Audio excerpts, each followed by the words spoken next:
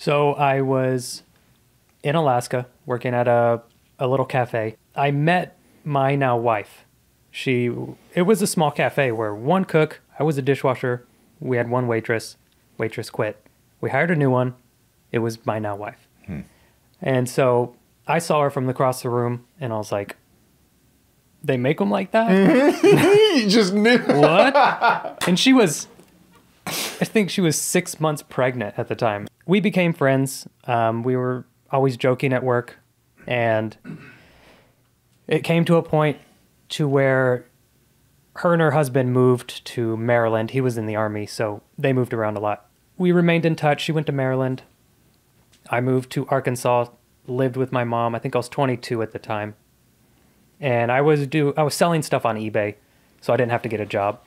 I moved I was living with my mom in Arkansas and I had to get a job. I didn't want to get a job. Um, so I just at that time I didn't know what I was doing, but I, I, I felt myself working for myself. So I knew what it felt like.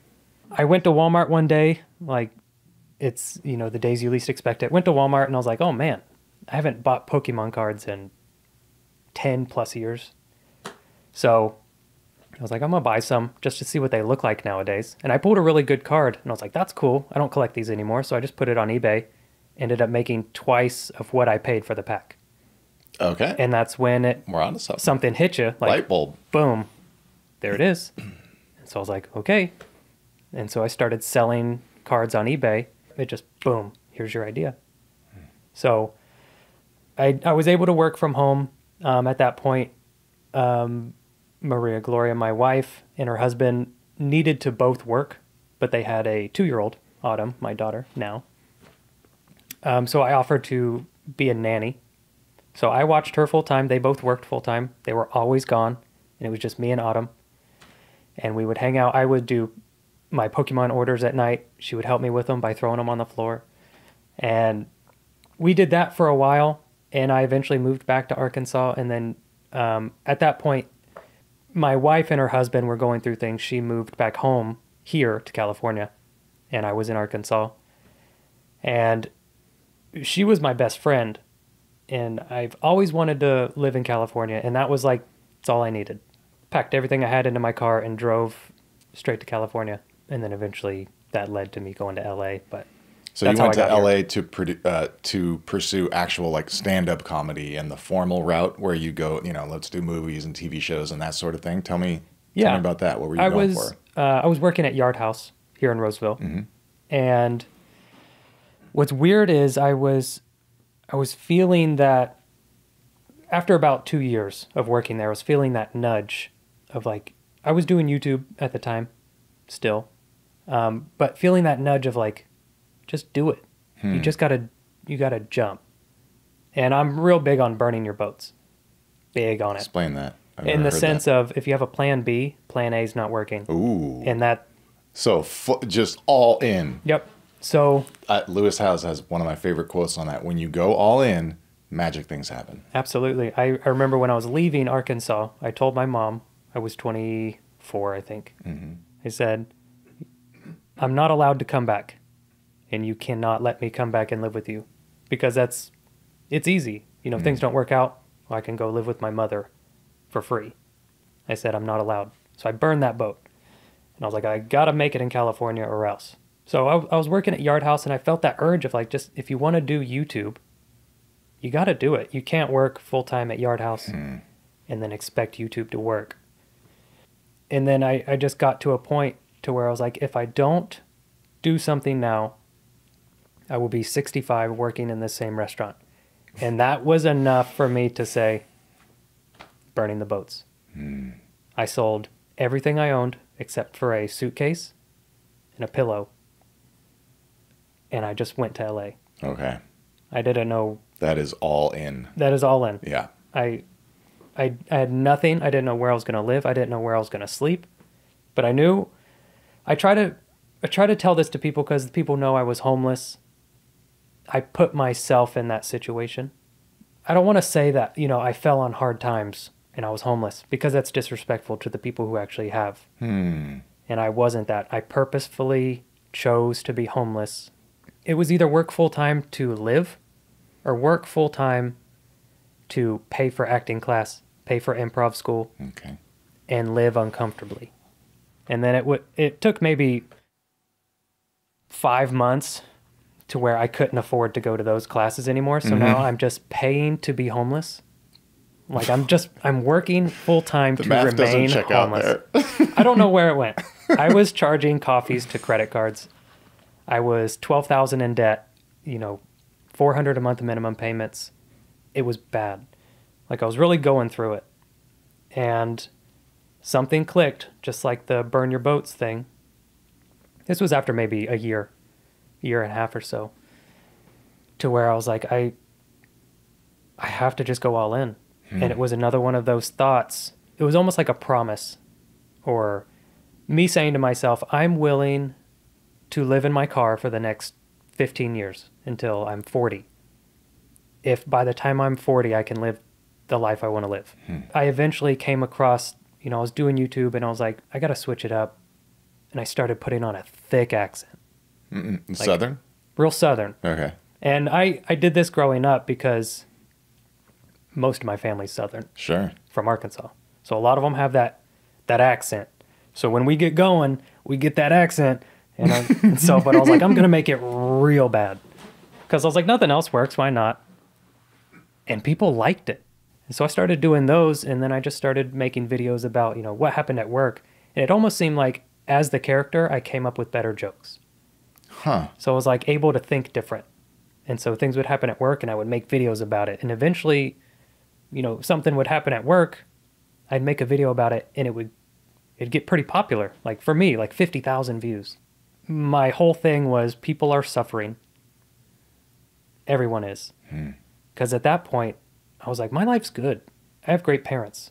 I have a great life. I have I work at a restaurant. I have food. I have all this and I feel like I'm suffering. So there's people out there suffering. Hmm. So I knew that in some way people just needed a release from life because I did. Because when you're off work and you live in your car, you go to your car and then you're just there. You don't have anywhere to go. Nowhere to be. So it's like mentally draining. So at that point, I was like, I want to be that for other people. So I got to that point where I was like, it needs to be daily because everyone needs something every day. So I was like, it has to be daily. And I, even if it wasn't good, I was like, I have to post. And that was, I think, something I did for five years, something like that Daily. a long time That's until we had our our son. I think I I went daily until that point. So I did that for yeah, it was about a year. And then I did one video about something that happened at work, which was stupid on my end, but it was funny. I made a video about it. Um, but I was so excited. It was one of those videos that I was like, I have to. And it was on my lunch break from work. And I was like, instead of eating lunch, I'm going to go film. So I went out and I was like, I filmed this video. And right when I got done, I had to go right back into work. So I didn't get to eat that day. Mm. And I was so excited that I didn't take my uniform off. I was still in uniform. And that video was the one that kind of Oh, took off. It kind of took it, 200,000 views, which was wild. And I was like, this is crazy. I love it. And then I get a call from my boss saying that higher ups had seen it. Um, and it wasn't good. Um, they saw I had the logo. They sent me home for three days, brought me in after three days, gave me the ultimatum. Which was If you delete all your videos, oh. Oh. you can come back to work.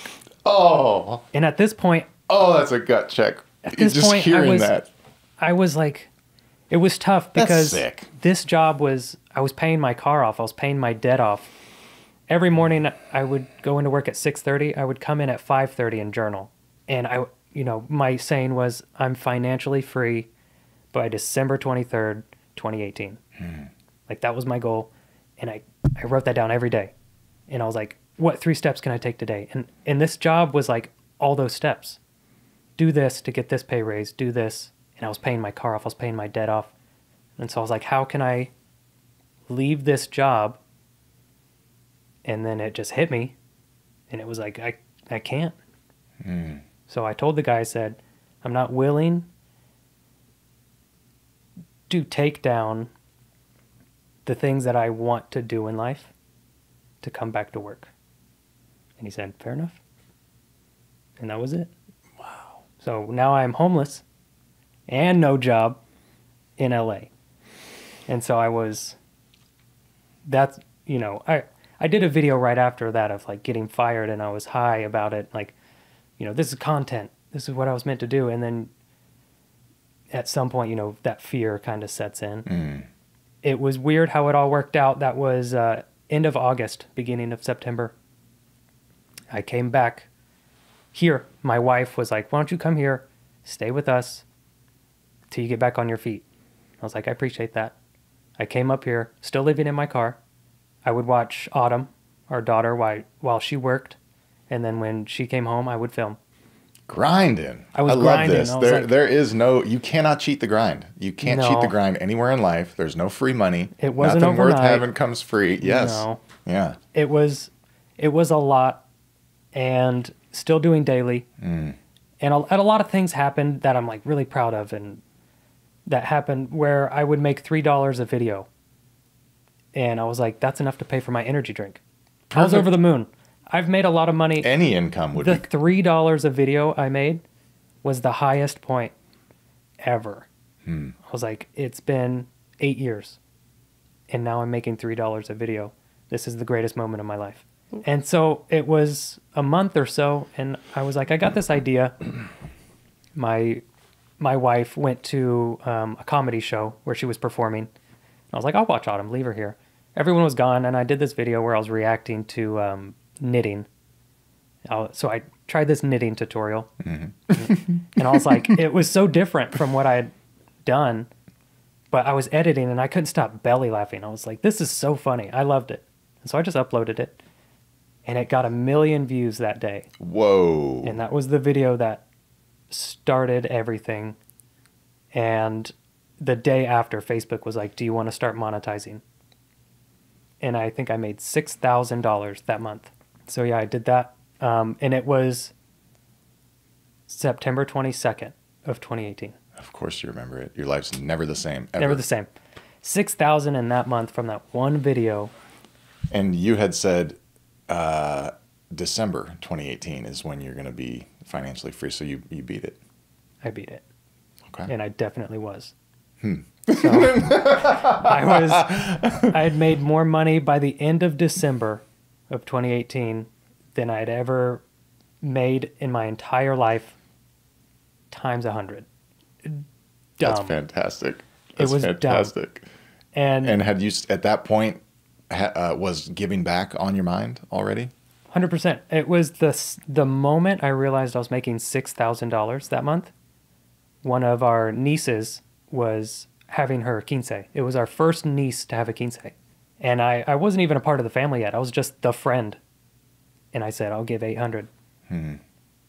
And I was like, I was just so overjoyed. I was like, I'll give it all away. And you felt describe that feeling where you say like I can tell when my heart wants to give. What does that feel like, and how does the circumstance show up? I, I think giving is extremely important, and I don't think True. people understand how much it impacts others, and also what it's doing for you. And I think it's a way to experience heaven on earth. That feeling when Yes. you impact someone for the better, whether it's monetary giving, time, you give your reputation, you give clout, advice, or whatever.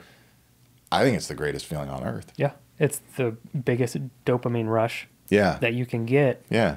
and I I don't know how to explain it. It's just like, it's almost like when the opportunity arises, you either feel gross or you feel let. It's not even like feeling good. It's sometimes, you know, I'll, I'll notice, I won't even know if someone needs money. It's just a feeling of like, you're passing by, you notice you have a hundred in your pocket. Got it. I don't know what it is. But yeah, um, just finding those opportunities and giving wholeheartedly, but being smart and saying, if I give away all six thousand dollars, I'm in the same spot. You know, it's not forever. But I knew it's it's that knowing of like if you give eight hundred, you're gonna be okay. Okay. So you got to be realistic too. Yeah, you def- I'm definitely realistic with my money, but it's also you don't want to get to a point to where you don't give because you're worried you don't have enough Hmm. because you're just projecting lack and you're just saying That's what you're putting out to I the don't have it. And so lack comes to you. And I want to be sure that I'm open and say, because there have been a lot of times where I was broke, homeless, and noticed someone needed money. And I had, maybe at that point, they don't have the, the belief that it will come to them again. But at that point, I did. Hmm. So I know this $100, which is massive. It's food for me. I know it'll come back. Here. And then you just give. Hmm. And, but without expectation. Yes. That's the biggest part. I I noticed that anytime you give your time, your energy, your money to someone with expectation, Resentment. nothing comes out of it but resentment. Mm. Yeah. And I've noticed a lot of that in content creation as well. I started giving content with expectation. Huh. And I went Describe that a little bit. What was the expectation with your content? Views? Yeah, I got Okay. I got to a a point a really really bad point mentally. Maybe halfway into my you know 2021, 2022 around there where I was I was like I I would upload a video and it would perform how it performs, but I would be upset. Hmm. Be like, why is it doing this? Why is it not making money? It should do this, it should do that. These normally work. And I would get to a point, and I did that for a long time, a couple years, until one day I just took a step back and I was like, I'm, I'm not giving to give, I'm giving to receive. I was like, that's my problem. Oh, wow. That's a brain blower. Yeah. And that wasn't until Hmm. three, four months ago. Like that recent.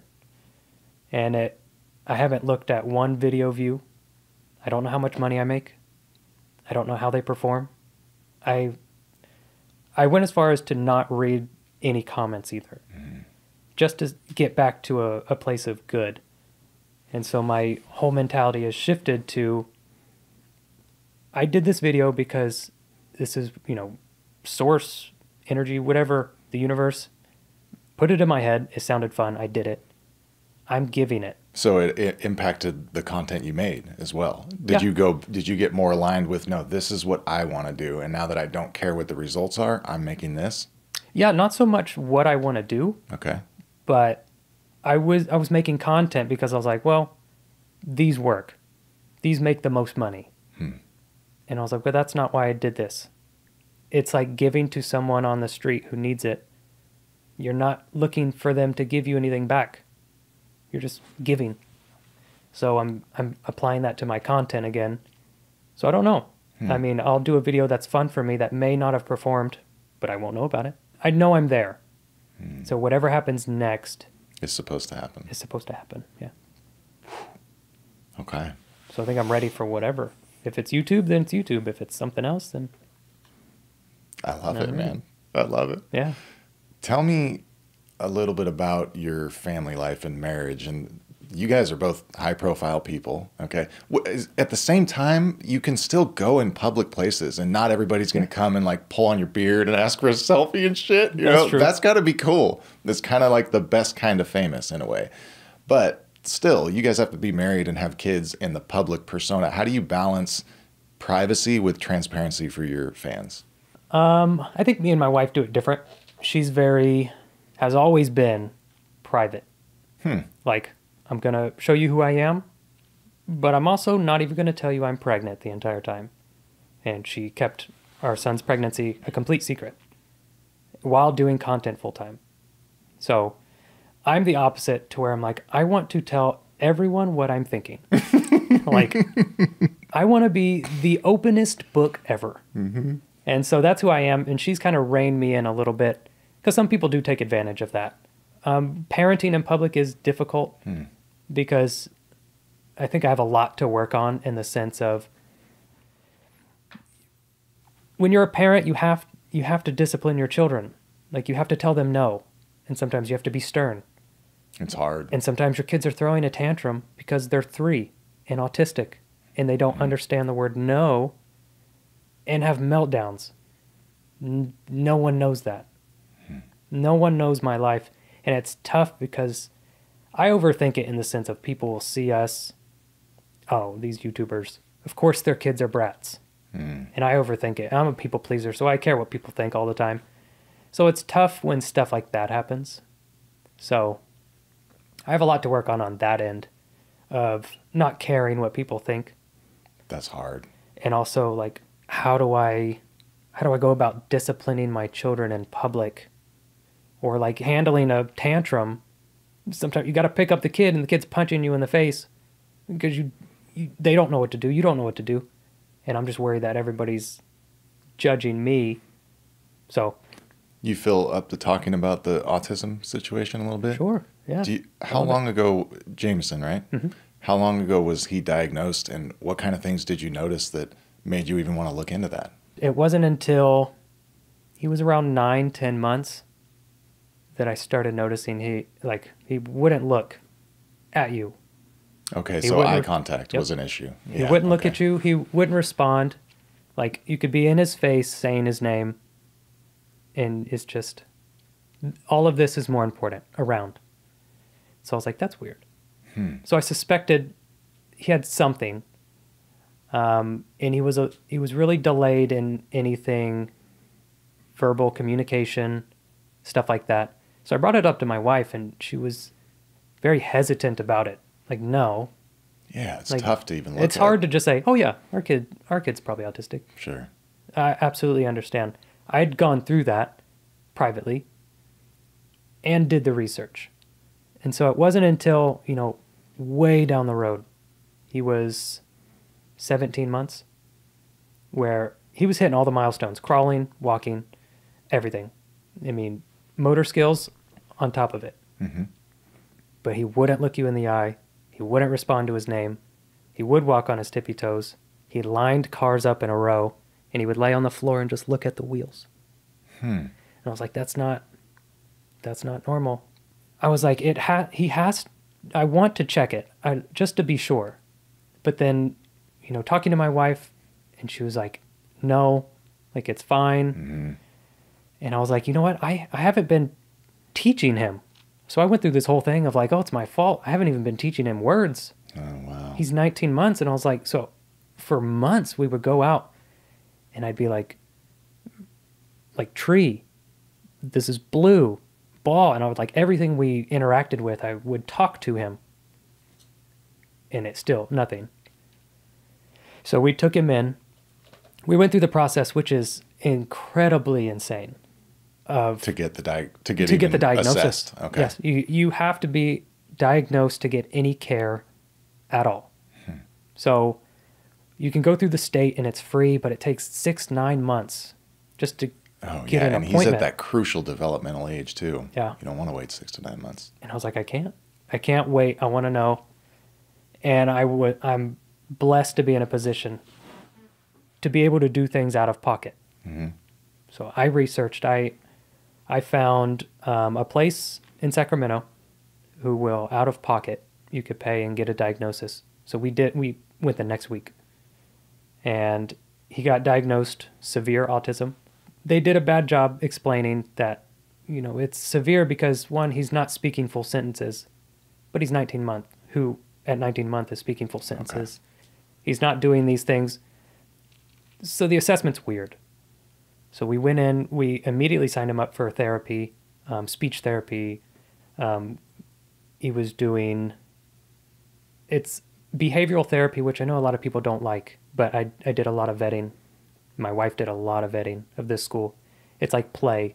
People in the like the autistic parenting community don't like it. Or like people who just don't understand it because Okay. it, it got a bad rep in the past. ABA therapy has gotten a bad rep, you know, of abuse and Oh. giving kids with autism trauma later on in life. I've sat through a lot of his sessions. So is my wife. He plays and they teach. And that's all it is. And it is excellent. He can't wait to go. He hates coming home.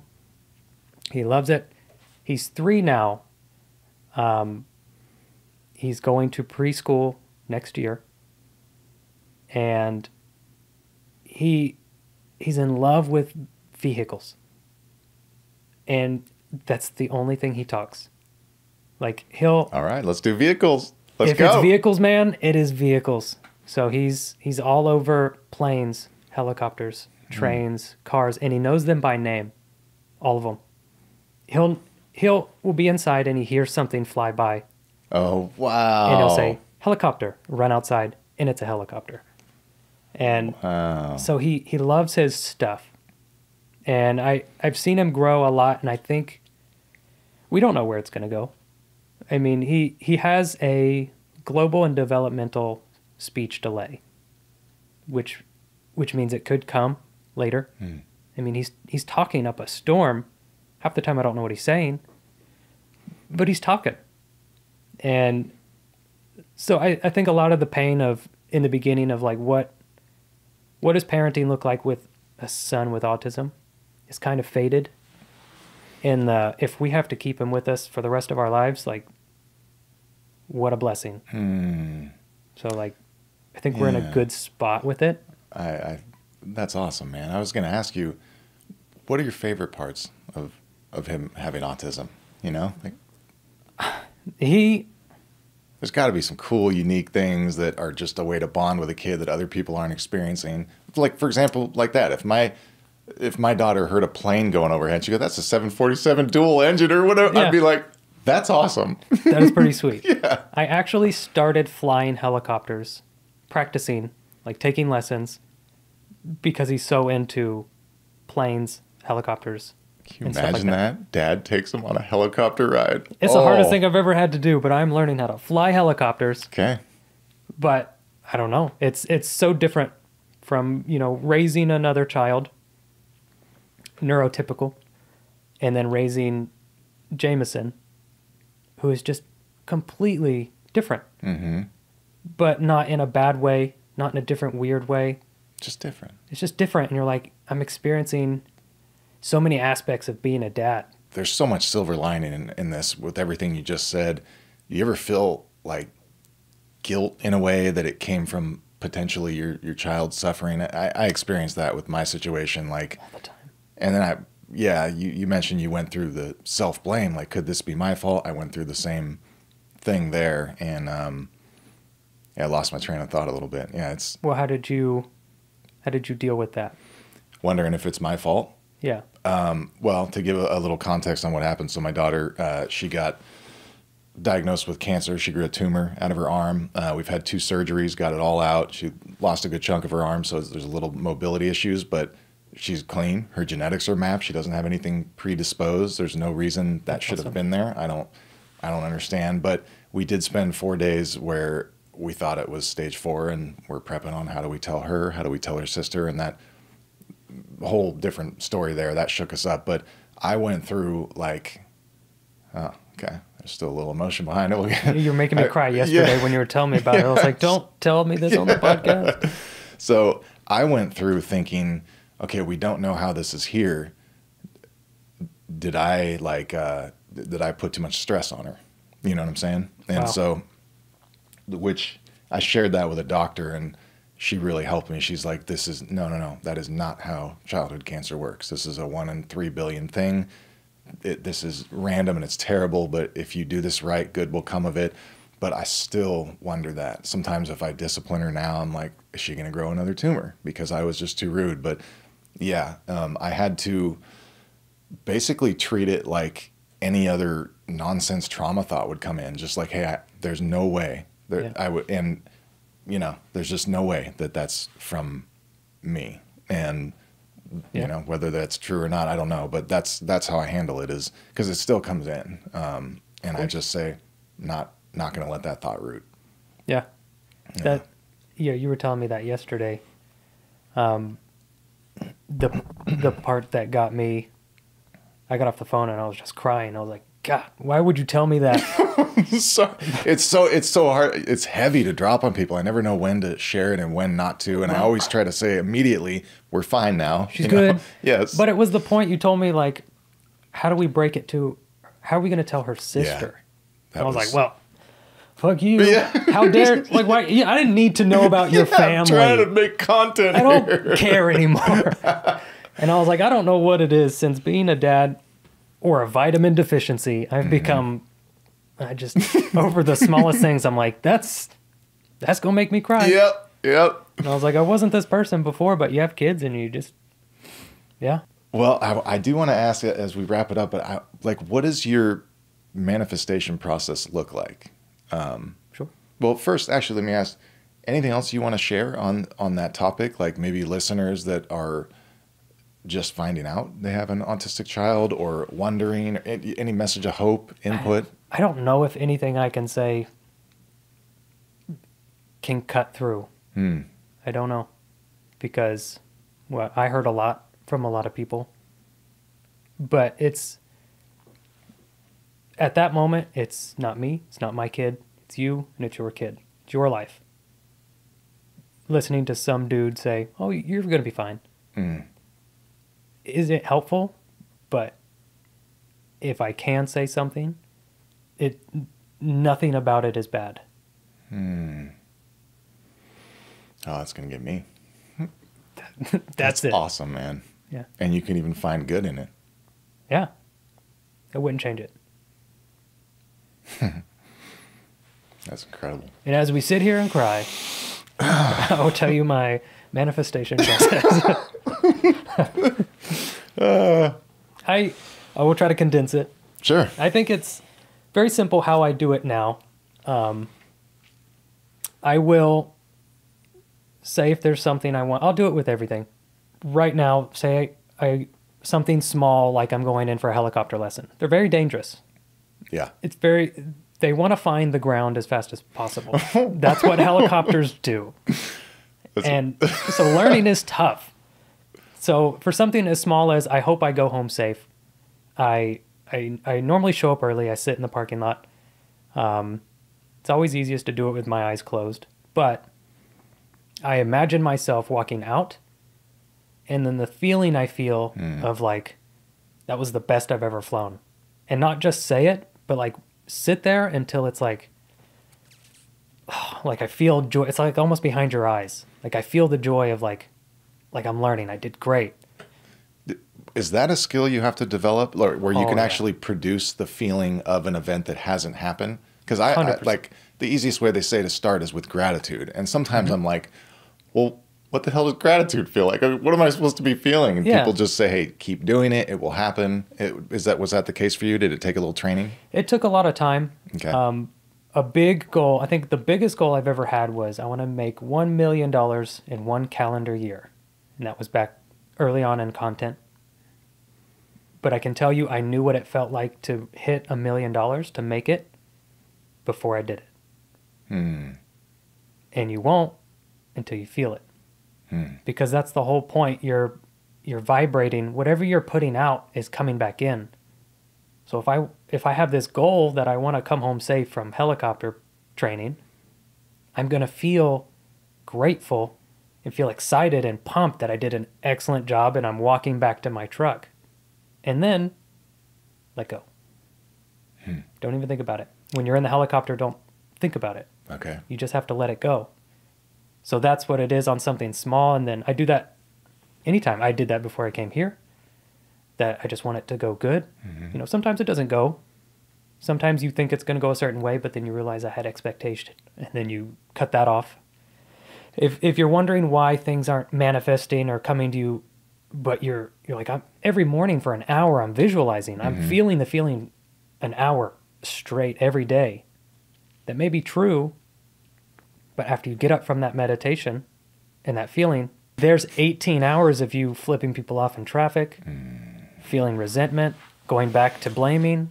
So you're you're not feeling it the majority of the time. So you're getting what you put out the majority of the time. And that's more like the law of attraction, right? So much, yeah. okay. So I, I try to live in it. So early on when I wanted to be like I wanted to be successful at flying helicopters, hmm it- I'd walk around feeling what it felt like to be a helicopter pilot. When I was in my car, I would walk around what it felt like to be a famous YouTuber. Hmm. I'd walk into stores and like feel that feeling. It's like it sits here in your heart and then it's right here behind your eyes. It's like gratefulness. You feel grateful for the thing already and then you let it go. And then when you notice you're not on it anymore, get back to it, you feel it, and then just go about your life. And then it's those moments where you're not expecting, you're not noticing, you just let go and you're living your life. An opportunity comes up, Okay. and it's that light bulb that connects the two this opportunity, this goal. And you're like, got it. You're setting a goal, and I assume you have to get very clear on exactly what you want, or or not. Um, I used to. Okay. I think now I I don't assume I know better than the universe. So it's like if you want this promotion, Oh, that takes so much pressure off. I've done so much writing. I need to be uh, in blue socks. yeah. I I was there where you journal about everything, every Yes. Mm-hmm. aspect of it, the vision board. And I'm like, what if I don't know best? What if what if I'm mid tier compared to what could be? So most of the time like I made all these big money goals because I wanted to feel a certain way. I was like, why don't I just feel a certain way and see see what money comes to me? Hmm. So I've started doing that, and I've never made a million in a calendar year. I've made a lot more. oh. So So if you would have put that cap on it, if I, I would have made a million a year and been happy, but I, you never know what's around the corner. Hmm. You may want this job opportunity, but what are you, what's the feeling? Get that feeling, not the outcome. Live in that feeling, and the perfect outcome will come your way. It'll be something you don't even think about. do you think about that goal constantly? A million dollars in a calendar year, so you're walking around, or you focus on the feeling? Of, Nope, I walk around with it. So I Okay. I, I walk in a store knowing I can. I know the the biggest feeling I had. I remember when I was just starting to make money. I'd walk around. Um, my wife's, she lived in a trailer park. I'd walk around every morning, and I'd walk with the sense of how great does it feel that I could buy that. I could have all of these. Before you could. I couldn't. And then the next month I could. And then I would feel it again. And then the next month it was more. And it was just, you live in it. So if I'm walking around Walmart, I'm like, I could own a Walmart. Hmm. What would it feel like to own a Walmart? What would it feel like to have $10 million? Get that feeling, live in it. If it goes away, get it back. And then just live. Live your life. Okay. say yes to things. Go have fun. And that's what i've been doing saying yes to helicopters. I don't know why. I don't know what it's going to come up. Saying yes to all these things and then eventually it's going to click.